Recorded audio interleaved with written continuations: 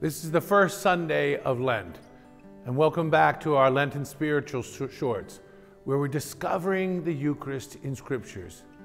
Listen to Exodus 12:5. The animal you choose must be a year old male without defect, and you may take them from the sheep or the goats. You see, the lamb that was sacrificed to save the blood of the firstborn in the tenth of the plagues replace that blood of the child. You see, that lamb was to be sacrificed, but it was to be without blemish. Luke 23, 4, 14, and John 18, 38.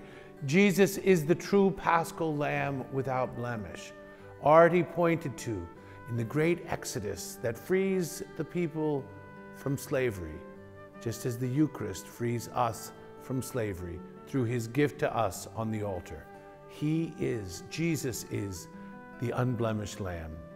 Discover the Eucharist for yourself.